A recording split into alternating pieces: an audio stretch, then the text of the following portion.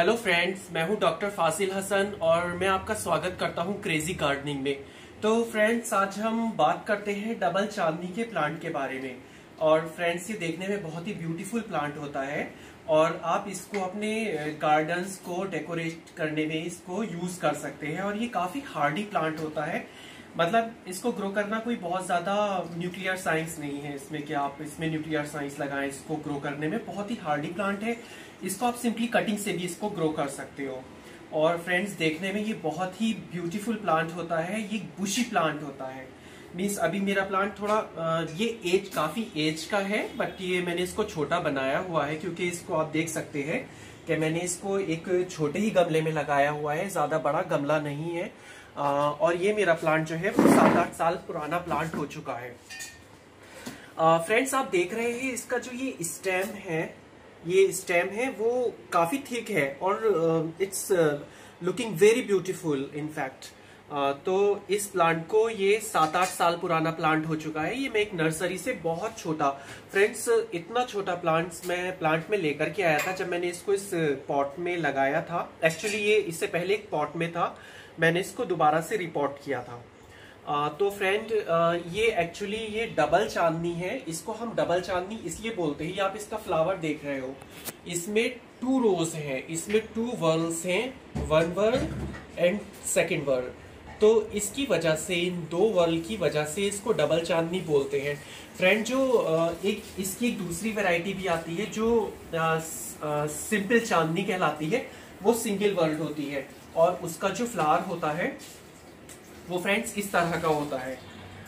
Like like, उसमें थोड़ी C curve leaves होती हैं और इस तरह से उसका लीव्स का स्ट्रक्चर कुछ इस तरह से होता है। और वो सिंगल लीव्स ही होती हैं वर्ल्ड में।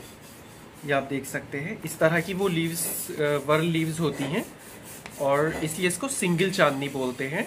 और ये मेरे पास जो वैरायटी है ये डबल चांदनी की वैरायटी है।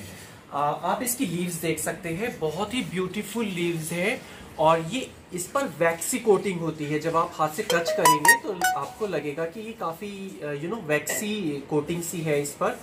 और फ्रेंड्स इसको अगर हम इसकी सॉइल की बात करें तो ये मैंने इसमें अभी ऊपर से गोबर की खाद डाली हुई है। लेकिन आप देख सकते हैं, इसको हमें वेल ड्रेन सॉइल की ज़रूरत पड़ती है। तो वेल ड्रेन सॉइल का जब भी मैं ज़िक्र करूँ तो इसका मतलब होता है उसमें वन पार्ट जो है वो आपका फ़ील्ड सॉइल है वन पार्ट जो है उसमें रेत जो सैंड होता है वो, और वन पार्ट गोबर की खाद। और उसकी वजह से क्या होता है फ्रेंड्स इसकी जो मॉइस्चर होल्डिंग कैपेसिटी होती है वो काफ़ी इंक्रीज हो जाती है। तो मॉइस्चर होल्डिंग कैपेसिटी इंक्रीज होने से क्या होता है कि प्लांट जो है वो कभी भी ड्रॉथ स्ट्रेस में नहीं रहता, और प्लांट को कंटिन्यू मॉइस्चर मिलती रहती है, और प्लांट फर्दर ग्रोथ करता रहता है। फ्रेंड्स अब हम बात करते हैं कि इसको किस तरह का एनवायरनमेंट चाहिए, इसको हम किस तरह की कंडीशंस में रख सकते हैं। मींस कौन सा ऐसा प्लेस है जहाँ पे ये अच्छे से फ्लरिश करे। तो जहाँ तक बात है फ्लॉरिंग प्लांट्स की और फ्रूटिंग प्लांट्स की तो ये फ्लॉरिंग प्लांट है। तो इसको डायरेक्ट सनलाइट बहुत पसंद है इस प्लांट को। तो आप इसको हमेशा ऐसे ऐसे प्लेस पर रखिए, ऐसे स्थानों पर रखिए जहाँ पर सूरज की डायरेक्ट रोशनी पड़ती हो।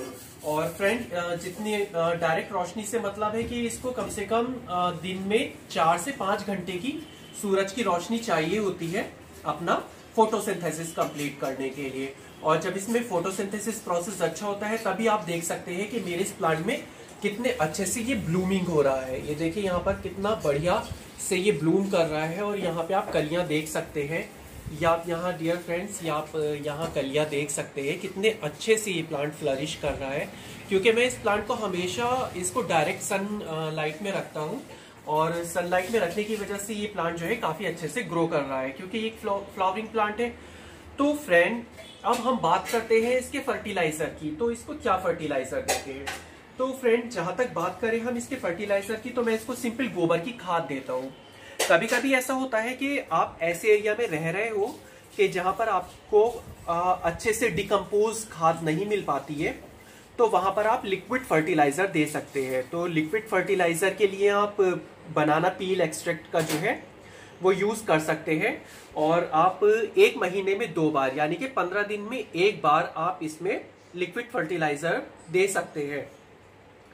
और फ्रेंड ये गोबर की खाद भी नहीं मिल पाती तो आपने सुना होगा उपले, जो पहले लोग चूल्हे में यूज़ करते थे, एक ईंधन की तरह, उनका भी यूज़ कर सकते हैं। तो आपको क्या करना है? काउ डंग, यानी कि जो उपला होता है, उसको, ये उपला होता है, उसको आप तीन दिन के लिए पानी में भिगो दें। और जब उसमें पानी में वो भीग जाए तो उसके वाटर को भी आप यूज़ कर सकते हैं। और डायरेक्ट ये काउ डंग जो है, ये ये भी आप यूज़ कर सकते हैं। इससे भी क्या होता है कि एक मल्च का काम करता है। ये आप देख रहे हैं ये मैंने एक मल्च किया है। इसकी मल्चिंग से जो वाटर होल्डिंग कैपेसिटी है इस पॉट की ये मेरे पास टेराकोटा पॉट है और इसकी जो मल्चिंग कैपेसिटी है इस गोबर की खाद की वजह से वो बहुत अच्छी हो गई है। तो कभी भी ये plant water stress condition condition में नहीं रहता लेकिन कभी आ, क्या होता है कि कभी जब मुझे लगता है कि आज लाइक तीन चार, तीन दिन हो गए हैं पानी दिए हुए या चार दिन हो गए तो उसमें एक बार पानी वाटरिंग की जाती है प्लांट की। फ्रेंड्स अब बात करते हैं इसकी प्रूनिंग की, कि इसको किस तरह से प्रून किया जाए। तो फ्रेंड्स समझ लीजिए प्रूनिंग जो है बहुत ही इंपॉर्टेंट स्टेप होता है किसी भी प्लांट की ग्रोथ को एनहांस करने के लिए। तो प्रूनिंग के लिए जैसे फ्लावरिंग प्लांट की बात करें, खासकर कि इस प्लांट को अगर आपको बुशी बनाना है बुशी का मतलब है कि इसको आपको घना बनाना है और ये आप चाहते हैं कि प्लांट आपका छोटा ही रहे ड्वार्फ दिखे और काफ़ी घना दिखे। जैसे कि मेरा प्लांट है आप देख रहे हैं कि ये प्लांट यहाँ से थोड़ा सा बुशी नहीं है क्योंकि अनफॉर्चुनेटली अभी तीन दिन पहले मेरा एक पैक्ट थोड़ा सा इस आ, की आ, जो ये स्टैम्प्स है इस पर उसने उछल कूद मचाई और जिसकी वजह से वो मेरा स्टैम्प जो था वो टूट गया। तो लेकिन ये काफ़ी बुशी प्लांट है। अभी भी ये काफ़ी बुशी प्लांट है। इसकी आप तना देख सकते हैं। स्टेम देखिए, काफ़ी मोटा है। तो फ्रेंड इसको बुशी बनाने के लिए क्या रहता है कि प्लांट को आप इस जगह से, ऊपर से ये आठ इंच के अराउंड जो है, आप इसको कट कर दीजिए यहाँ से। इसको आपको कट करना है। कट करने से क्या होगा? जो इसके अंदर के जो ऑक्सीजन हॉर्मोन्स है, वो इंड्यूस हो जाते हैं, जिससे जो ब्रांच है, आपकी ब्रांचिंग कभी यहाँ से भी आप देख रहे हैं, नोड, यहाँ से आपकी एक दूसरी ब्रांच निकल सकती है और एक यहाँ से भी निकल सकती है। इसी तरह से जो प्लांट है, उसमें ये सेकेंडरी ब्रांचेस निकलती हैं, जिससे प्लांट ये बुशी हो जाता है। फॉर एग्ज़ाम्पल फ्रेंड देखिए, मैंने एक दिन इस प्लांट को यहाँ से काटा था कट किया था। आप देख रहे होगे, यहाँ से मैंने इसको कट किया था। ये देख रहे हैं, यहाँ से मैंने इस पर कट लगाया था। जिसकी वजह से मुझे ये तीन ब्रांचेस मिली। एक, दो एंड तीन। और ये चौथी ब्रांच यहाँ से दोबारा से निकल रही है। तो फ्रेंड इस तरह से प्रूनिंग करते रहना चाहिए, जिसकी वजह से प्लांट आपका बुशी बन जाता है और देखने में काफ़ी सुंदर भी लगता है। तो फ्रेंड बात करते हैं अब हम इसको किस प्रूनिंग के लिए आप किसी भी टूल का यूज़ कर सकते हैं। बेसिकली मेरे पास कोई प्रूनर नहीं है तो मैं नॉर्मल कैची जो होती है सीजर होती है मैं उसी से प्रून कर देता हूँ क्योंकि ये काफ़ी डेलिकेट स्टेम है। इसका जो स्टेम है वो काफ़ी डेलिकेट है। मीन्स वो बहुत ही सॉफ्ट है। थोड़ा सा ही प्रेशर देने पे वो ब्रेक हो जाता है। आ, तो फ्रेंड अगर हम बात करें कि इसके इसको किस तरह से प्रोपिगेट करना है मीन्स आपको इस प्लांट को मल्टीप्लाई करना है। एक से दो तीन कॉपीज बनानी है। तो फ्रेंड बहुत ही आसान तरीका है। इसको प्रोपिगेट करना बहुत ही इजी है। किसी भी रूटिंग हार्मोन की ज़रूरत नहीं होती। बिना रूटिंग हार्मोन के भी आप इसको प्रोपिगेट करते हैं। वो कैसे? मैं दिखाता हूँ। देखिए फ्रेंड हमेशा किसी भी प्लांट को प्रोपिगेट करने के लिए सेमी हार्डवुड का यूज़ करना चाहिए। सेमी हार्डवुड मीन्स लाइक इसमें थोड़ी सी आपको दिख रहा है कि ये बहुत ही मीन्स छाल सी आपको दिखाई दे रही होगी। ये आप देखिए यहाँ पर। ये छाल सी इसको सेमी हार्डवुड कहते हैं। मीन्स uh, तना जो है वो डेलिकेट भी है बट इसमें छाल भी आई हुई है। लाइक like इसमें बार्क भी है सेमी बार्क जिसको बोलते हैं। और इस प्लांट के प्रोपेगेट के लिए आप हमेशा वी शेप ये आपको वी शेप दिख रहा है। वी शेप टहनी को सेलेक्ट करना होगा। सेलेक्ट करने के लिए आप इसको छह से सात इंच तक नीचे तक यहाँ से काट लीजिए। फ्रेंड यहाँ से कट मारना है। कट मारने के बाद आपको ये आपको ये पूरी ब्रांच ये आपको पूरी ब्रांच जो है, वो आपको मिल जाएगी। इसको लेना है सिंपली और बिना किसी रूटिंग हार्मोन लगाए हुए एक छेद बनाना है उंगली से और उसमें अंदर घास देना है। जैसे फ्रेंड आपने देखा होगा कि मैंने यहाँ एक ऑलरेडी एक स्टेम लगा रखा है।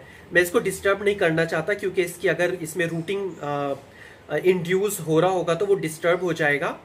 और ये आप देख रहे हैं, ये वी शेप है, एक ब्रांच ये है और एक ब्रांच ये है और नीचे इसका मेन स्टेम है। तो फ्रेंड ये आप देख सकते हैं कि मैंने इसको किस तरह से प्रोपिगेट किया है। तो इस तरह से प्रोपिगेट करने के लिए आपको हमेशा वी शेप ब्रांच का यूज़ करना है और याद रखिए कि ब्रांच जो है वो सेमी वुड होना चाहिए, यानी कि उसमें थोड़ा सा बार्क होना चाहिए। और इस प्लांट ये प्लांट इजी प्रोपेगेट हो जाता है। इसमें कोई भी बिना रूटिंग हार्मोन के भी आप ग्रो कर सकते हैं। बस ध्यान आपको ये रखना है, जब क्रिएट करती है, जिससे कि रूटिंग प्रॉपरली नहीं हो पाती।